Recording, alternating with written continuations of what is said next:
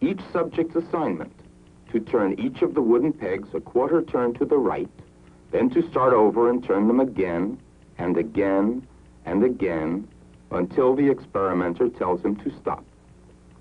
It is the most boring and fatiguing task we could devise. Our purpose was to provide each subject with the same dull job so each would have a similar negative experience. In order to obtain the scientific data we need, we use a little subterfuge and say we're studying motor performance. Afterward, they will be told the truth. Okay, that's fine. Uh, let me tell you now what we're actually studying here. It's the effect of preparatory mental set on performance. Half of the subjects are doing the job uh, cold, just as you did. The rest of the subjects are prepared by being told that the experiment will be very interesting and enjoyable. In fact, lots of fun. Uh, now I have a somewhat unusual request to make of you. Uh, the next subject is waiting right outside, but the fellow who ordinarily gives the spiel uh, isn't here. Uh, I wonder if you could possibly take his place.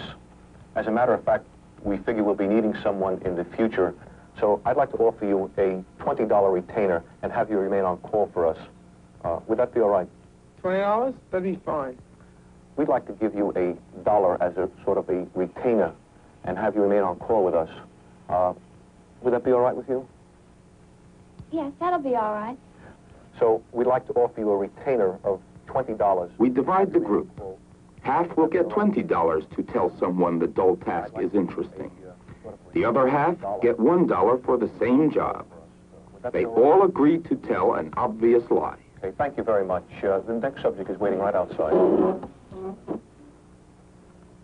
In reality, the subject meets one of our assistants, trained to get them to publicly commit themselves to this untruth. Good. They gave us some pegs to turn, and uh, well, I turned them for a while, and it was a lot of fun. It was sort of interesting, I guess. Really?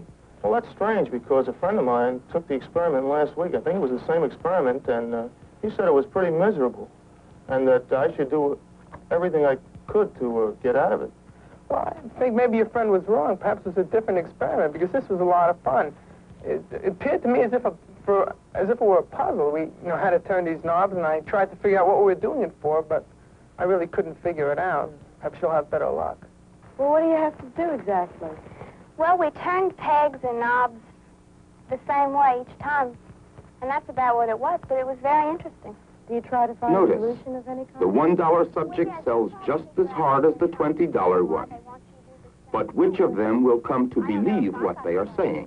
Other theories might predict that the man who is paid most would have the highest motivation for enthusing over the dull task and would be most sold on it himself. Cognitive dissonance theory leads to an exactly opposite prediction. The man who is paid $20 knows that the task is dull, but he also knows that he had sufficient justification for saying that it wasn't. How much did you learn from this experiment? Learn? Well, I don't think I learned too much from the experiment.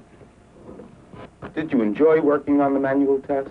Well, it uh, really wasn't too enjoyable. In fact, it was rather boring. How about the man who is paid $1? He knows the task is dull, but he has two discrepant thoughts. He also knows that he did not have sufficient justification for saying that it wasn't. For him, there is dissonance. Time after time, we have seen what follows. He reduces the dissonance by changing his opinion about the dullness of the task. Tell me, how much did you learn from this experiment?